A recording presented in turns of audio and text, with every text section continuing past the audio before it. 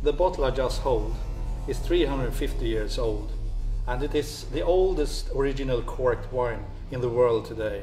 Ocean X is offering these very rare bottles for sale.